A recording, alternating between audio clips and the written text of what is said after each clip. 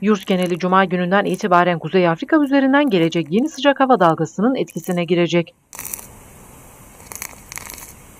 Hafta sonu Kahramanmaraş'ta da hava sıcaklığı 41 derece olacak.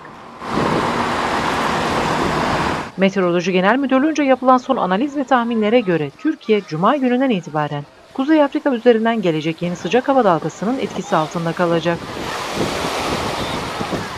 Hala mevsim normallerinin üzerinde seyreden hava sıcaklıkları, yeni hava sıcaklığı dalgasının etkisiyle ülke genelinde hissedilir derecede artacak.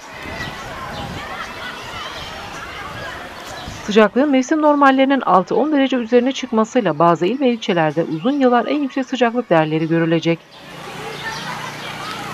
Hafta sonu bazı il merkezlerinde gerçekleşmesi beklenen en yüksek hava sıcaklığı Ankara, Bursa ve Malatya'da 40, İstanbul'da 37, İzmir ve Adana'da 41, Samsun, Trabzon ve Erzurum'da 32, Balıkesir, Edirne ve Antalya'da 42, Diyarbakır'da 43, Manisa'da 44, Şanlıurfa ve Aydın'da 45 derece olacak. Öte yandan sıcak hava dalgası gelecek pazartesi günü batı bölgelerde, salı günü iç ve hafta ortasında ise doğu bölgelerde etkisini kaybedecekti. Sıcaklık mevsim normallerine dönecek. Aşırı yüksek sıcaklığı neden olabileceği olumsuzluklara karşı yaşlılar, çocuklar ve kronik hastalığı olanlar başta olmak üzere vatandaşların güneş ışınlarının dik geldiği 10-16 saatlerinde güneş ışınlarına direkt maruz kalmamaları hususunda dikkatli olmaları, sıcaktan korunmak için gerekli önlemleri almaları istendi.